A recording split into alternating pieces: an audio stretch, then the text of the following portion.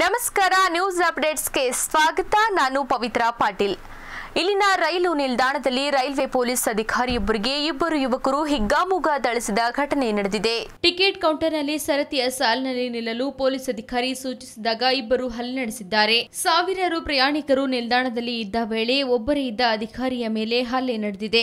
ಇಬ್ಬರು ಯುವಕರು ಅಧಿಕಾರಿಯನ್ನ ಎಳೆದಾಡಿ ನೆಲಕ್ಕೆ ಕೆಡವಿ ಹಲ್ಲೆ ನಡೆಸಿದ್ದಾರೆ. ಹಲ್ಲೆ ನಡೆಸಿದ ಇಬ್ಬರನ್ನ ಪೊಲೀಸರು ಬಂಧಿಸಿ ಪ್ರಕರಣ ದಾಖಲಿಸಿಕೊಂಡಿದ್ದಾರೆ.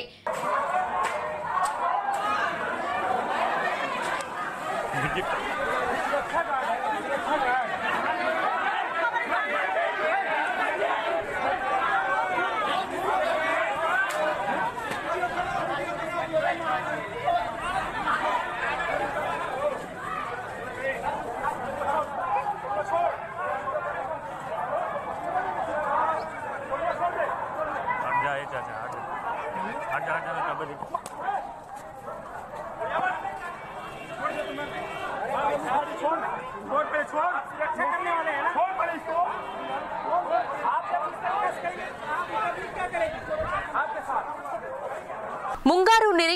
ರಾಜ್ಯದ ರೈತರಿಗೆ ಬಿಗ್ ಶಾಕ್ ಮುಂಗಾರು ಇನ್ನು ಎಂಟು ದಿನ ವಿಳಂಬ. ಬೇಸಿಗೆಯ ಬಿಸಿ ಮುಂಗಾರು ಮಳೆ ಅಲ್ಲಲ್ಲಿ ಸುರಿದ ಕಾರಣ ತಂಪಾಗಿದ್ದರೆ ಇನ್ನು ರಾಜ್ಯದ ಅನೇಕ ಕಡೆಗಳಲ್ಲಿ ಮಳೆಯ ಮುಖನೇ ಕಂಡಿಲ್ಲ. ಹೀಗಾಗಿ ಮುಂಗಾರು ಮಳೆಯ ನಿರೀಕ್ಷೆಯೊಂದಿಗೆ ಬಿತ್ತನೆಗಾಗಿ ಕಾಯುತ್ತಿದ್ದ ರೈತರಲ್ಲಿ ಆತಂಕ ಮೂಡಿದೆ. ಈ ಮಧ್ಯೆ ಮುಂಗಾರು ಮಳೆ ಜೂನ್ ಎಂಟಕ್ಕೆ ರಾಜ್ಯಕ್ಕೆ ಕಾಲಿಟ್ಟಿದರೂ ರಾಜ್ಯಾದ್ಯಂತ ಮಾತ್ರ ಇನ್ನೂ ತನ್ನ ಹಸ್ತವನ್ನ ಚಾಚಿಲ್ಲ. ಹೀಗೆ ರಾಜ್ಯಾದ್ಯಂತ ಸುರಿಯಲು ಇನ್ನು ಎಂಟು ದಿನಗಳ ಕಾಲ ತಡವಾಗಲಿದೆ ಎಂದು ಹವಾಮಾನ ಇಲಾಖೆ ತಿಳಿಸಿದೆ. ಈ ಕುರಿತು ಮಾಹಿತಿ ನೀಡಿರುವ ರಾಜ್ಯ ನೈಸರ್ಗಿಕ ವಿಕೋಪ ಕೇಂದ್ರದ ನಿರ್ದೇಶಕ doctor GS Srinivas Reddy. June ಇಪ್ಪತ್ತರಿಂದ ಕರಾವಳಿ ಹಾಗೂ ಮಲೆನಾಡಿನಲ್ಲಿ ಮಳೆ ಬೀಳಲಿದೆ. ಆದರೆ ರಾಜ್ಯದ ಒಳನಾಡು ಪ್ರದೇಶಗಳಲ್ಲಿ ಮಳೆ ವಾತಾವರಣವನ್ನು ಮುಂದಿನ ಎಂಟು ದಿನಗಳ ನಂತರ ನಿರೀಕ್ಷಿಸಬಹುದಾಗಿದೆ ಎಂದು ಹೇಳಿದ್ದಾರೆ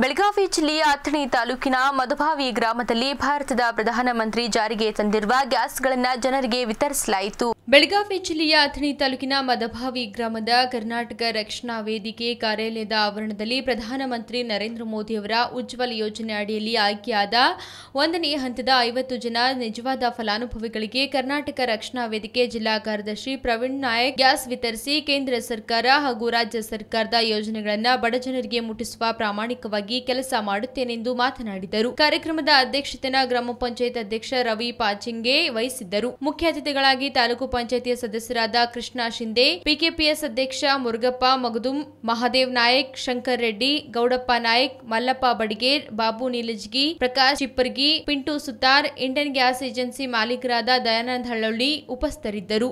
ಈ ಕಾರ್ಯಕ್ರಮದಲ್ಲಿ ಅಗ್ನಿಶಾಮಕ ಇಲಾಖೆ ಅಧಿಕಾರಿಗಳಾದ ಆರ್ ಕೆ ಸಂಭೋಜಿ, ಅಡುಗೆ ಅನಿಲ ಗ್ಯಾಸ್ ಲೀಕ್ ಲೀಕ್ ಆದಲ್ಲಿ ಮುಂಜಾಗ್ರತಾ ಬಗ್ಗೆ ಅಗ್ನಿಶಾಮಕ ದಳದವರು ಗ್ರಾಮಸ್ಥರಿಗೆ ವಿವರವಾಗಿ ಹೇಳಿದರು. ಬೆಂಕಿ ಹತ್ತಿದಾಗ ನಾವು ಏನು ಮಾಡಬೇಕು, ಗ್ಯಾಸ್ಟ್ರಿಕ್ ಆದಾಗ ನಾವು ಏನು ಮಾಡಬೇಕು, ಅದನ್ನ ಹೇಗೆ ಆರಿಸಬೇಕು ಎಂಬುದನ್ನ ಗ್ರಾಮಸ್ಥರಿಗೆ ವಿವರಿಸಿದ್ದಾರೆ. ರಾಯಬಾಗ ಎಷ್ಟಾಗಿರ್ಬೋದು ಸರ್ ಹತ್ತನೇ ತಾಲೂಕದಾಗ ನೋಡಿ ಹೆಚ್ಚು ಕಡಿಮೆ ಒಂದು ನಲವತ್ತಾಗಿದೆ ಇಲ್ಲಿ ಅವ್ರಿಗೆ ನೀವು ಏನು ಹೇಳಕ್ಕೆ ಇಷ್ಟಪಡ್ತೀನಿ ಚಾಲನೆ ಅಂದ್ರೆ ಅದ ಅವರಿಗೆ ಇದನ್ನೇ ಹೇಳಕ್ಕೆ ಇಷ್ಟಪಡ್ತೀನಿ. ಅವ್ರಿಗೆ ಸಂಘ ಸಂಸ್ಥೆಯಿಂದ ನಮಗೆ ಎಲ್ಲ ಮಹಿಳೆಯರು ಹೆಣ್ಣು ಮಕ್ಕಳು ಎಲ್ಲರೂ ಕೂಡಿ ಇಷ್ಟಪಡುವುದ್ರ ಹೆಚ್ಚಿನ ಅಗ್ನಿ ಅನಾಹುತಗಳ ಆಗಬಾರ್ದಂತೇಳಿ ನಾವು ಈ ಕಾರ್ಯಕ್ರಮ ಹಮ್ಮಿಕೊಳ್ಳೋದಾಗಿದ್ದೀವಿ ಎಲ್ಲ ಶಾಲಾ ಕಾಲೇಜ್ಗೆ ಹೋಗಿ ಪ್ರತಿ ವಾರಕ್ಕೊಂದು ಎರಡು ಶಾಲಾ ಕಾಲೇಜ್ ಕೊಡಬೇಕಂತ ನಿಮಿದೆ ಸರ್ಕಾರದ ಆ ಪ್ರಕಾರ ನಾವು ಹೆಚ್ಚಿನ ಒಂದು ಒಂದು ವಿದ್ಯಾರ್ಥಿಗೆ ಇದ್ರ ಬಗ್ಗೆ ತಿಳುವಳಿಕೆ ಬಂತಂದ್ರೆ ಆ ಕುಟುಂಬಕ್ಕೆ ಹೆಚ್ಚಿನ ಅವಘಡಗಳು ತಪ್ಪಿಸಬಹುದು ಅಂತ ಸಾಧ್ಯತೆ ಇದೆ ಅಂತ ಹೇಳಿ ಸರ್ಕಾರದಿಂದ ನಾವು ಇದು ಶಾಲಾ ಕಾಲೇಜುಗಳಿಗೆ ಉಪನ್ಯಾಸ ಈಗ ರಾಜ್ಯಾದ್ಯಂತ ಪತ್ರಕರ್ತರು ಮತ್ತು ವರದಿಗಾರ ಮೇಲೆ ಮಾರಣಾಂತಿಕ ಹಲ್ಲೆ ಆಗುತ್ತಿರುವ ಕಾರಣ ಕರ್ನಾಟಕ ರಕ್ಷಣಾ ವೇದಿಕೆಯ ಜಿಲ್ಲಾ ಕಾರ್ಯದರ್ಶಿ ಪ್ರವೀಣ್ ನಾಯಕ್ ಮಾಧ್ಯಮದ ಮುಖಾಂತರ ಮನವಿ ಮಾಡಿದರು. ಪತ್ರಕರ್ತರಿಗೆ ರಕ್ಷಣೆ ಕೊಡಿ ಎಂದು ಈ ಭೂಮಿಯಲ್ಲಿ ಸತ್ಯ ಮತ್ತು ನ್ಯಾಯವನ್ನ ಹೊರತೆಗೆಯುವ ಕೆಲಸ ಪತ್ರಕರ್ತರು ವರದಿಗಾರರು ಮಾಡುತ್ತಾರೆ. ಇವರೇ ಇಲ್ಲದಿದ್ದರೆ ಸತ್ಯ ನ್ಯಾಯ ಎಲ್ಲಿ ಇರುತ್ತಿತ್ತು. ತಮ್ಮ ಜೀವನದ ಹಂಗನ್ನ ತೊರೆದು ಪತ್ರಿಕಾ ರಂಗಕ್ಕೆ ಪ್ರವೇಶ ಮಾಡಿರುತ್ತಾರೆ. ಪತ್ರಕರ್ತರು ಮತ್ತು ವರದಿಗಾರರಿಗೆ ರಕ್ಷಣೆ ಕೊಡಬೇಕೆಂದು ಮಾಧ್ಯಮದ ಮುಖಾಂತರ ಮನವಿ ಮಾಡಿದರು. ಈಗ ರೀ ಪ್ರತಿಯೊಂದು ರಿಪೋರ್ಟರ್ಗಳಿಗೆ ಯಾವುದೇ ತರ ಶಕ್ತಿ ಇಲ್ಲ ಗೋರ್ಮೆಂಟ್ ಇಂದ ಹಾ ಈಗ ಯಾವ್ದೋ ಒಂದು ರಿಪೋರ್ಟರ್ ಕೆಲಸ ಮಾಡ್ಬೇಕಾದ್ರೆ ನಾವು ಕೈಯಾಗ ಜೀವ ನೀವು ಗೋರ್ಮೆಂಟ್ಗೆ ಏನ್ ಹೇಳಕ್ ಇಷ್ಟಪಡ್ತೀರಿ ಪತ್ರಕರ್ತರಿಗೆ? ಇವತ್ತ ಭಾರತ ಸರ್ಕಾರ ಇರ್ಬೋದು ರಾಜ್ಯ ಸರ್ಕಾರ ಇರ್ಬೋದು ಅವರ ಆಗು ಬಗ್ಗೆ ಹಾಗೂ ರಾಜಕೀಯ ಬಗ್ಗೆ ವಿಸ್ತರಣೆಯನ್ನು ಮಾಡುವಂತಹ ಹಾಗೂ ಎಲ್ಲ ವಿಜಯಪುರ ಜಿಲ್ಲೆಯ ಮುದ್ದೇಬಿಹಾಳ್ಗೆ ಸಂಬಂಧಿಸಿದಂತೆ ದಾಖಲೆ ಬಿಡುಗಡೆ ಮಾಡಿ ಜಿಲ್ಲೆಯ ನೀರಾವರಿ ಯೋಜನೆಯ ಸಾವಿರಾರು ಕೋಟಿ ರೂಪಾಯಿ ಅದರೊಳಗಿನ ಸತ್ಯ ತಿಳಿಯಬೇಕೆಂದು ಶಿವಾನಂದ ವಾಲಿ ಮನವಿ ಮಾಡಿದರು. ಜನರ ಹಿತಕ್ಕಾಗಿ ಕೆಲಸ ಮಾಡಬೇಕು, ಮತ ಕ್ಷೇತ್ರದ ಕೆಲಸ ಅಭಿವೃದ್ಧಿ ಮಾಡಬೇಕು, ಎಲ್ಲದರ ಬಗ್ಗೆ ಏನಾಗಿದೆ ಎಂದು ಇದರ ಬಗ್ಗೆ ಬಹಿರಂಗಪಡಿಸಬೇಕೆಂದು ಮಾಧ್ಯಮದ ಮುಖಾಂತರ ಮನವಿ ಮಾಡಿದರು. ಒಂದು ತಿಂಗಳ ಹಿಂದೆ ವಿಜಯಪುರ ಜಿಲ್ಲೆಯಲ್ಲಿ ಒಂದು ಬಹುದೊಡ್ಡ ಸಾವಿರಾರು ಕೋಟಿ ರೂಪಾಯಿ ಹಗರಣದ ಕುರಿತಂತೆ ಎ ಎಸ್ ಪಾಟೀಲ್ ನಂಡೇಳಿ ಅವರು ದಾಖಲಾತಿ ಬಿಡುಗಡೆ ಮಾಡಲಾಗುವುದು ಅಂತ ಹೇಳಿದರು. ಯಾವ ವಿಚಾರಪ್ಪ ಅಂತಂದರೆ ನೀರಾವರಿಯಲ್ಲಿ ನೀರಾವರಿಯಲ್ಲಿ ನಾಲ್ಕೂವರೆ ಸಾವಿರ ಕೋಟಿ ರೂಪಾಯಿ ಹಗರಣ ಆಗಿದೆ ಆ ಹಗರಣದ ದಾಖಲಾತಿಗಳು ನನ್ನ ಬಳಿ ಇವೆ ಅದನ್ನು ಬಹಿರಂಗಪಡಿಸ್ತೀನಿ ಅಂತ ಹೇಳಿದ್ರು. ಅದರಂತೆ ನಮ್ಮ ಯುವಜನ ಸೇನೆ ಸಂಘಟನೆ ಕಳೆದ ಒಂದು ತಿಂಗಳ ಹಿಂದೆಯೇ ಕೂಡ ಪತ್ರಿಕಾಗೋಷ್ಠಿಯಲ್ಲಿ ನಡಳಿಯವ್ರಿಗೂ ನಾವು ಒತ್ತಾಯನೂ ಕೂಡ ಮಾಡಿದ್ವಿ. ನಿಮ್ಮ ಹತ್ರ ದಾಖಲಾತಿಗಳಿದ್ದರೆ ಸತ್ಯಾಸತ್ಯತೆ ಹೊರಗಡೆ ಬರಲಿ.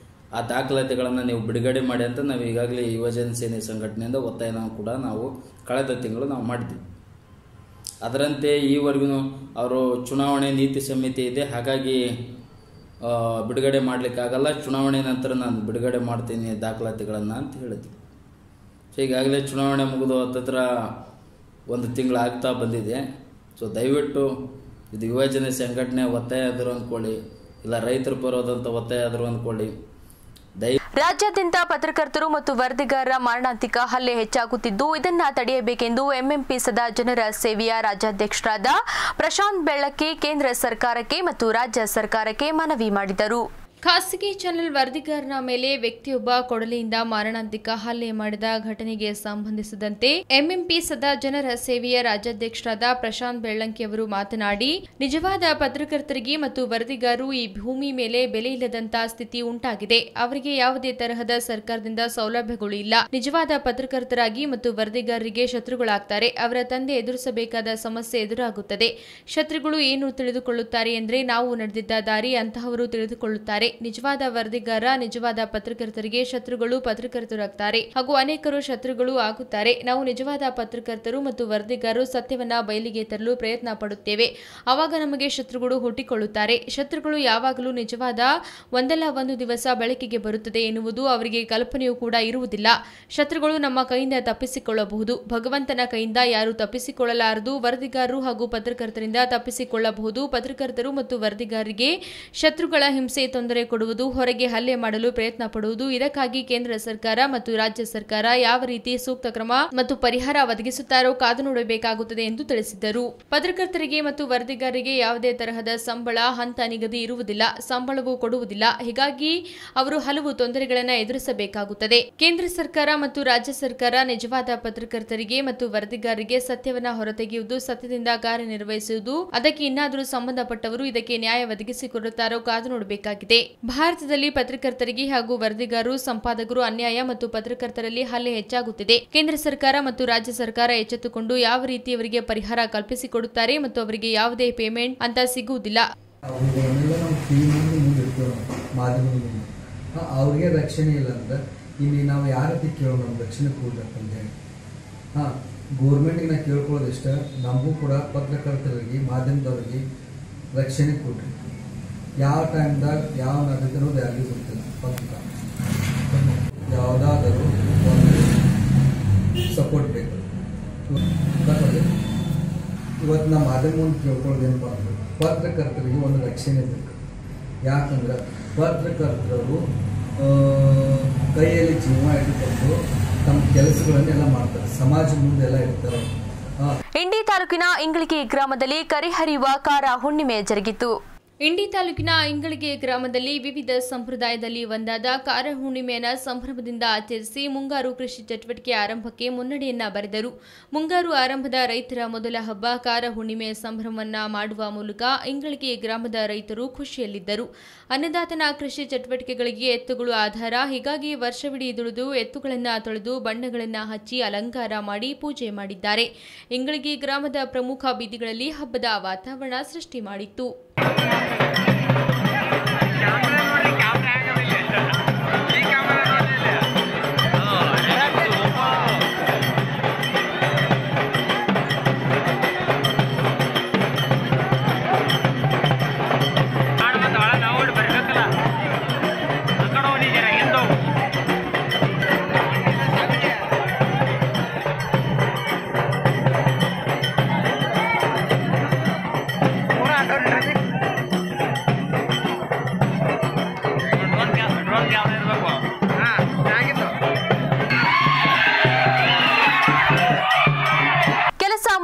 ಮುಗಿಸಿ ಬರುತ್ತಿದ್ದ ರೈತನ ಮೇಲೆ ಒಂದು ಏಕಾಏಕಿ ದಾಳಿ ಮಾಡಿರುವ ಘಟನೆ ತುಮಕೂರು ಜಿಲ್ಲೆಯ ಮಧುಗಿರಿ ತಾಲೂಕಿನ ಜಿಡಿ ಪಾಳ್ಯದಲ್ಲಿ ನಡೆದಿದೆ. ಕರಡಿ ದಾಳಿಯಿಂದಾಗಿ ರೈತ ಕರಿಯಣ್ಣ ಗಂಭೀರ ಗಾಯಗೊಂಡಿದ್ದಾರೆ. ಕೃಷಿ ಕೆಲಸ ಮುಗಿಸಿ ಮನೆಗೆ ವಾಪಸ್ಸಾಗುವ ವೇಳೆ ಕರಡಿ ದಾಳಿ ಮಾಡಿದೆ.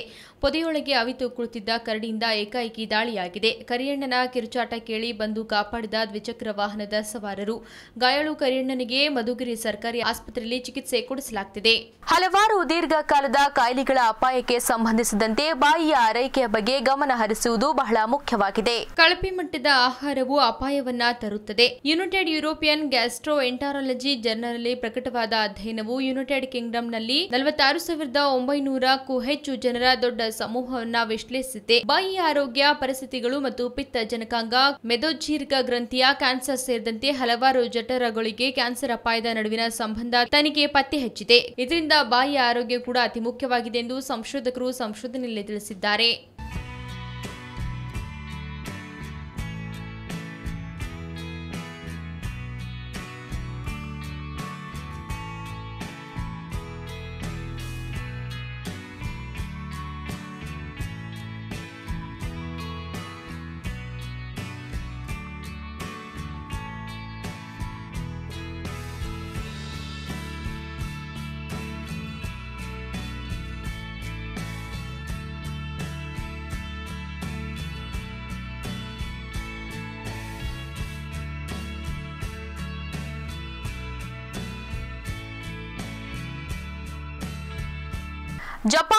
ಜಪಾನ್ನಲ್ಲಿ ಭೂಕಂಪ, ಲಘು ಸುನಾಮಿ ಹಲವರಿಗೆ ಗಾಯ.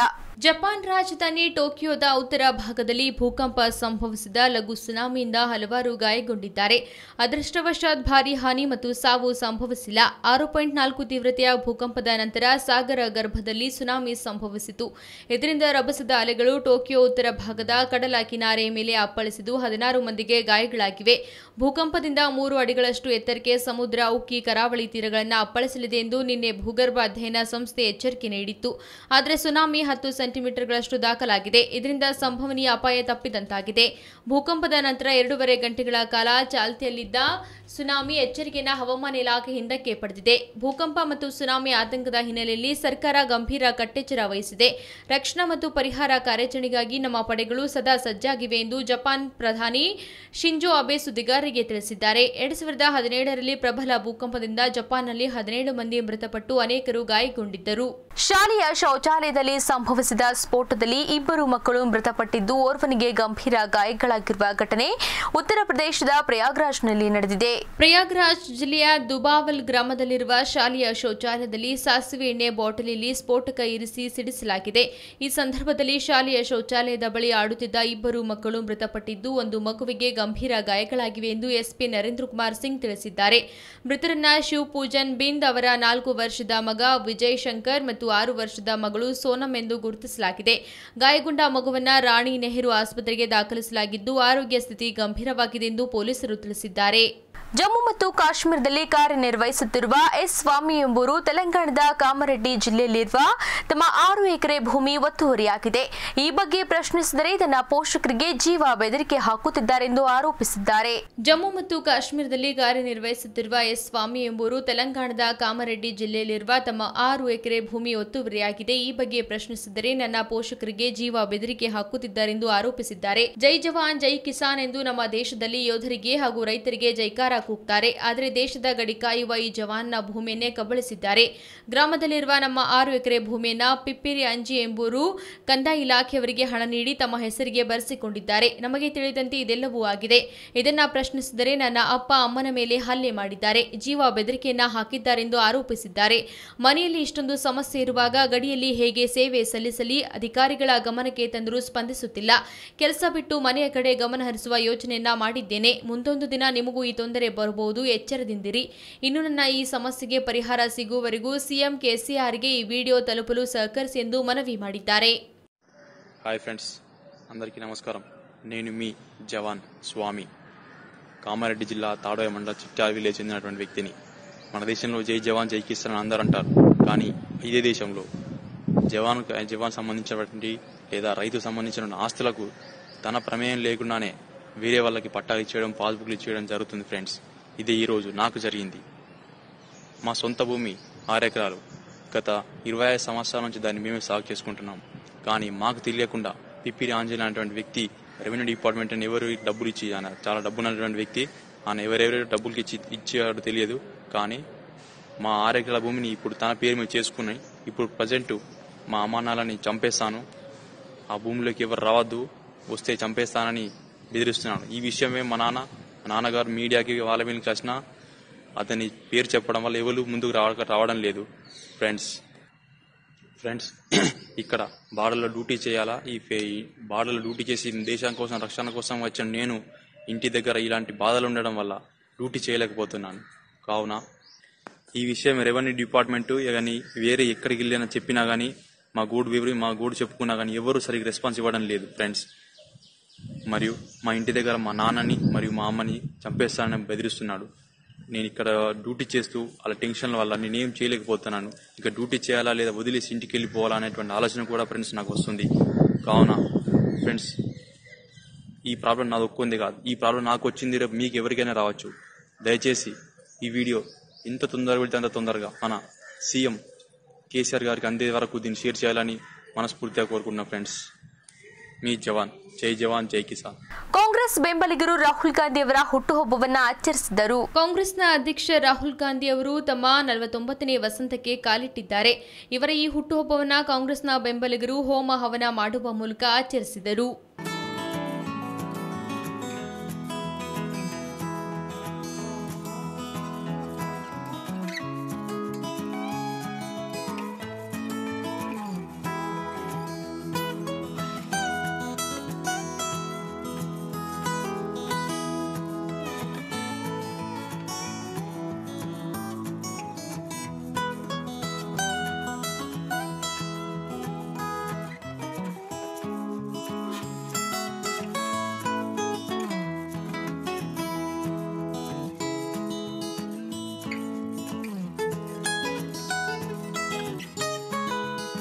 ಬಿಜೆಪಿ ಕಾರ್ಯಕಾರಿ ಅಧ್ಯಕ್ಷ ಜೆಪಿ ನಡ್ಡಾ ಅವರು ದೆಹಲಿಯ ಪ್ರಧಾನ ಕಚೇರಿಯಲ್ಲಿ ಪದಾಧಿಕಾರಿಗಳನ್ನ ಭೇಟಿಯಾದರು. ಬಿಜೆಪಿ ರಾಷ್ಟ್ರೀಯ ಕಾರ್ಯಕಾರಿಣಿ ಅಧ್ಯಕ್ಷ ಜೆಪಿ ನಡ್ಡಾ ಅವರು ಸೋಮವಾರ ಬಿಜೆಪಿಯ ಮುಖ್ಯಸ್ಥ ಅಮಿತ್ ಶಾ ಮತ್ತು ಪ್ರಧಾನಿ ನರೇಂದ್ರ ಮೋದಿ ಅವರ ಸಮ್ಮುಖದಲ್ಲಿ ಹುದ್ದೆ ನೀಡಲಾಯಿತು. ದೆಹಲಿಯ ಪಕ್ಷದ ಪ್ರಧಾನ ಕಚೇರಿಯಲ್ಲಿ ಪದಾಧಿಕಾರಿಗಳನ್ನ ಭೇಟಿಯಾದರು.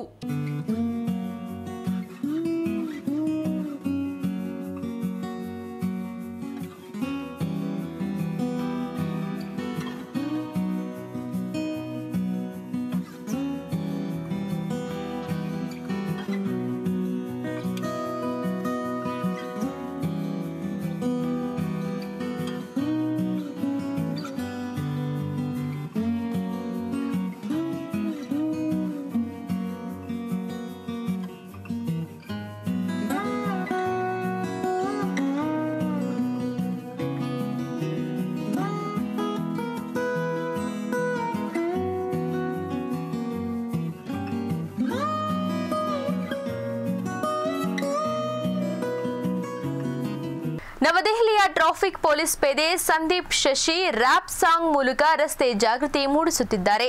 ಇಷ್ಟೇ ಅಲ್ಲದೆ ತಮ್ಮ ಸ್ವಂತ ಹಣದಿಂದಲೇ ಹೆಲ್ಮೆಟ್ ಖರೀದಿಸಿ ಈವರೆಗೆ ಏಳ್ನೂರು ಮಂದಿಗೆ ಉಚಿತವಾಗಿ ನೀಡಿದ್ದಾರೆ. ಹಮ್ಸೆನ್ ಹೋ ಪಗಿಯ, ಸಡ್ಕಿ ಸುರಕ್ಷಾ ಕಿ, ಜೀವನ್ ಕಿ, ರಕ್ಷಾ ಕಿ, ಹೆಲ್ಮೆಟ್ ಕಿ, ಸೀಟ್ ಬೆಲ್ಟ್ ಕಿ ನಿಯಮ್ ಅಗರ್ ಅಪ್ನಾಯಗ ರಾಷ್ಟ್ರ ರಾಜಧಾನಿ ವಾಹನ ಸವಾರರು ಯಾವ್ದಾದ್ರು ಸರ್ಕಲ್ ಈ ಜಾಗೃತಿ ರ್ಯಾಪ್ ಸಾಂಗ್ ಕೇಳಿಯೇ ಇರ್ತಾರೆ. ಇದನ್ನ ಹಾಡ್ತಿರೋದು ರ್ಯಾಪರ್ ಅಲ್ಲ ಟ್ರಾಫಿಕ್ ಪೊಲೀಸ್. ಟ್ರಾಫಿಕ್ ಪೊಲೀಸ್ ಪೇದೆ ಸಂದೀಪ್ ಶಶಿ ರಸ್ತೆ ಜಾಗೃತಿಗಾಗಿ ಇಂತಹದೊಂದು ವಿನೂತನ ಪ್ರಯೋಗ ಮಾಡ್ತಿದ್ದಾರೆ. ತಮ್ಮಲ್ಲಿನ ಕಲೆ ಬಳಸಿಕೊಂಡು ರ್ಯಾಪ್ ಹಾಡುಗಳ ಮೂಲಕ ವಾಹನ ಸವಾರನ ಸಂಚಾರಿ ನಿಯಮ ಪಾಲಿಸುವಂತೆ ಎಚ್ಚರಿಸುತ್ತಿದ್ದಾರೆ. ಅಂದಹಾಗೆ, ಇವರ ರ್ಯಾಪ್ ಹಾಡುಗಳಿಗೆ ಪ್ರೇರಣೆ ರಣವೀರ್ ಸಿಂಗ್ನ ಗಲ್ಲಿ ಬಾಯ್ ಸಿನಿಮಾ. ಇದರ ಮಾದರಿಯಲ್ಲೇ ಅಪ್ನಾ ಟೈಮ್ ಆಗಿಯ ಹೆಸರಿನ ರ್ಯಾಪ್ ಹಾಡು ಬರೆದು ಹಾಡುತ್ತಿದ್ದಾರೆ. ಇಷ್ಟೇ ಅಲ್ಲದೆ, ತಮ್ಮ ಸ್ವಂತ ಹಣದಿಂದಲೇ ಹೆಲ್ಮೆಟ್ ಖರೀದಿಸಿ ಈವರೆಗೆ ಏಳ್ನೂರು ಮಂದಿಗೆ ಉಚಿತವಾಗಿ ಹೆಲ್ಮೆಟ್ ನೀಡಿದ್ದಾರೆ. ಇವರಲ್ಲಿ ಒಂದು ನೋವಿನ ಕಥೆ ಇದೆ ಅದು ಯಾವುದು ಅಂದ್ರೆ ಶಶಿ ಇವರ ಈ ಉತ್ತಮ ಕಾರ್ಯಕ್ಕೆ ಅವರ ಜೀವನದಲ್ಲಾದ ನೋವಿನ ಘಟನೆಯೇ ಕಾರಣ. ಅಪಘಾತವೊಂದರಲ್ಲಿ ಅವರ ಪತ್ನಿ ಅಸುನೀಗಿದ್ದರು. ಅಂದಿನಿಂದ ವಾಹನ ಸವಾರರಿಗೆ ಹೆಲ್ಮೆಟ್ ಹಾಗೂ ಸೀಟ್ ಬೆಲ್ಟ್ ಧರಿಸುವಂತೆ ಜಾಗೃತಿ ಮೂಡಿಸುತ್ತಿದ್ದಾರೆ. ಈ ಬಗ್ಗೆ ಮಾತನಾಡಿದ ಶಶಿಯವರು ಅಪಘಾತದಲ್ಲಿ ಗಾಯಗೊಂಡಿದ್ದ ನನ್ನ ಪತ್ನಿ ಮೃತಪಟ್ಟಿದ್ದ ಅತೀವ ದುಃಖಕ್ಕೀಡು ಮಾಡಿತು ಯುವಕರಿಗೆ ಈ ಬಗ್ಗೆ ಅರಿವು ಮೂಡಿಸಲೆಂದೇ ರ್ಯಾಪ್ ಹಾಡು ಬರೆದು ಹಾಡುತ್ತಿದ್ದೇನೆ. ನನ್ನ ರ್ಯಾಪ್ ಸಾಂಗ್ ವಿಡಿಯೋ ವೈರಲ್ ಆಗಿದ್ದು ಖುಷಿಯಾಯಿತು. ಜನರು ಸಂಚಾರಿ ನಿಯಮ ಪಾಲಿಸಲು ಹಿಂಜರಿಯುತ್ತಾರೆ. ಹಾಗಾಗಿ ಇದು ನನ್ನ ಜವಾಬ್ದಾರಿ ಎಂದು ಅರಿತು ಜಾಗೃತಿ ಮೂಡಿಸುತ್ತಿದ್ದೇನೆ ಎಂದಿದ್ದಾರೆ.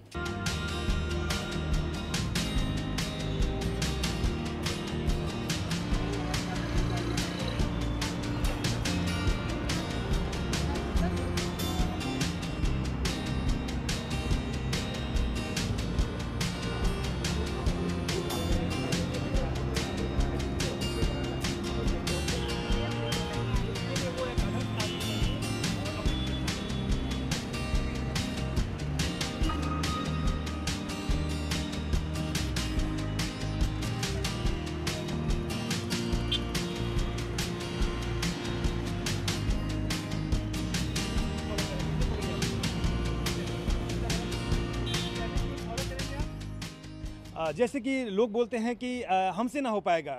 मतलब ट्रैफ़िक सिग्नल पर नहीं रुक पाएँगे, ट्रैफ़िक रूल नहीं फॉलो कर पाए मैंने कहा, कौन बोला? हमसे ना हो पाएगा, कौन बोला? सड़क की सुरक्षा की, जीवन की रक्षा की, हेलमेट की, सीट बेल्ट की नियम अगर अपनाएगा, जीवन खुशहाल बन जाएगा। बात मेरी मान, सुरक्षा को जान, सुरक्षा को जान, तू बात मेरी मान, नहीं तो तेरा टाइम आएगा। ट्रेन बुलेट सी बाइक चलाएगा नशे में तू गाड़ी उड़ाएगा तो तेरा टाइम आएगा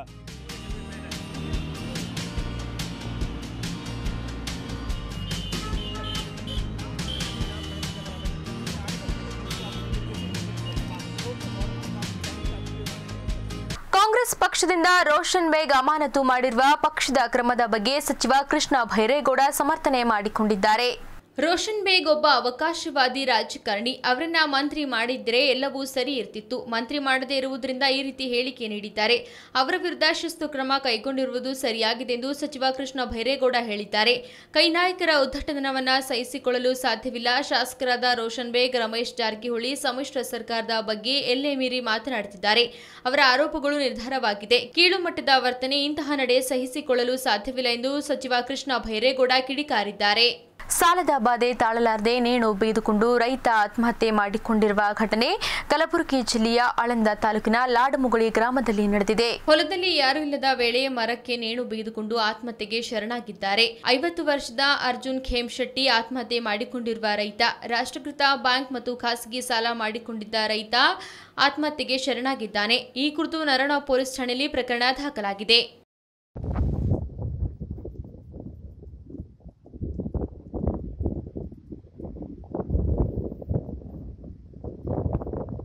ವಾಹನದಿಂದ ಕೆಳಗಿಳಿದು ಬಾಲಿಕೆಯ ಕೈಯಲ್ಲಿದ್ದ ಪೇಪರ್ ಚೆಕ್ ಮಾಡಿದ ಡಿಸಿ. ತೇರದಾಳ ಪಟ್ಟಣಕ್ಕೆ ಜಿಲ್ಲಾಧಿಕಾರಿ ಆರ್. ರಾಮಚಂದ್ರನ್ ದಿಢೀರ್ನೆ ಭೇಟಿ ನೀಡಿದ್ದಾರೆ.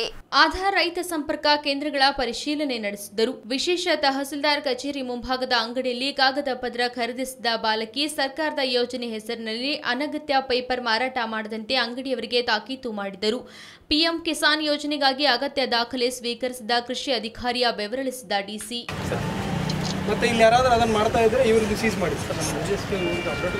ನಿಮ್ದೆಷ್ಟು ಎಷ್ಟು ಫಾರ್ಮ್ಸ್ ಇದೆ ಅದೆಲ್ಲ ಡಿಸ್ಪೋಸ್ ಮಾಡಿಬಿಡ್ಬೇಕು. ಮತ್ತೆ ಜನರಿಗೆ ಕೊಡ್ತಾ ಇಲ್ಲಿಂದ ಜಾಗ ಖಾಲಿ. ಮಾಡಿಸ್ಬಿಡ್ತೀನಿ ಆಮೇಲೆ. ಅರ್ಥ ಆಯ್ತಲ್ಲ? ಸುಮ್ ಸುಮ್ಮನೆ ಜನರಿಗೆ ದಾರಿ ತಪ್ಪಿಸ್ತಾ ಇದ್ದೀರಿ ಇಲ್ಲದೇ ಇರೋ ದಾಖಲೆ ಯಾವುದು ನಮಗೆ ಬೇಕಿಲ್ಲ. ಜನರದ್ದು ಏನು ದಾಖಲೆಗೆ ಯಾವ ಸೌಲಭ್ಯ ಬೇಕು ಯಾವ ದಾಖಲೆ ಬೇಕಿದೆ ಅದು ವಿಶ್ವ ಯೋಗ ದಿನದ ಅಂಗವಾಗಿ ಮಂಡ್ಯ ಪಟ್ಟಣದ ಕೆಆರ್ಪೇಟೆ ತಾಲೂಕಿನ ಮಾರ್ಗುನಹಳ್ಳಿಯ ಮರಡಿಲಿಂಗೇಶ್ವರ ಕ್ಷೇತ್ರದಲ್ಲಿರುವ ಮುರಾರ್ಜಿ ದೇಸಾಯಿ ವಸತಿ ಶಾಲೆಯಲ್ಲಿ ಪೂರ್ವಭಾವಿಯಾಗಿ ಯೋಗ ತಾಲೀಮು ನಡೆಯಿತು. ಯೋಗಪಟು ವೇದ ಬ್ರಹ್ಮ ಶ್ರೀ ಗೋಪಾಲಕೃಷ್ಣ ಅವಧಾನಿಗಳ ನೇತೃತ್ವದಲ್ಲಿ ವಿದ್ಯಾರ್ಥಿಗಳು ಶ್ರದ್ಧೆಯ ಆಸಕ್ತಿಯಿಂದ ಪೂರ್ವಭಾವಿ ಅಭ್ಯಾಸದಲ್ಲಿ ತೊಡಗಿದ್ದರು. ವಸತಿ ಶಾಲೆಯ ಪ್ರಾಂಶುಪಾಲರಾದ ಡಾಕ್ಟರ್ ರಾಮನ್ ನಾಯಕ್ ಮಾತನಾಡಿ, ಜೂನ್ ಇಪ್ಪತ್ತೊಂದರಂದು ವಿಶ್ವ ಯೋಗ ದಿನದಂದು ಕೆಆರ್ಪೇಟೆ ಪಟ್ಟಣದ ತಾಲೂಕು ಕ್ರೀಡಾಂಗಣದಲ್ಲಿ ಐದು ಸಾವಿರ ವಿದ್ಯಾರ್ಥಿಗಳು ಯೋಗ ಪ್ರದರ್ಶನ ನೀಡಲಿದ್ದು, ನಮ್ಮ ಶಾಲೆಯ ವಿದ್ಯಾರ್ಥಿಗಳು ಭಾಗವಹಿಸುತ್ತಿದ್ದಾರೆಂದು ವಿವರಿಸಿದರು. ಶಿಕ್ಷಕ ಕೆಎಸ್ ಚಂದ್ರು ಯೋಗ ತರಬೇತಿಯ ಪೂರ್ವಾಭ್ಯಾಸ ಕಾರ್ಯಕ್ರಮದಲ್ಲಿ ಭಾಗವಹಿಸಿದ್ದರು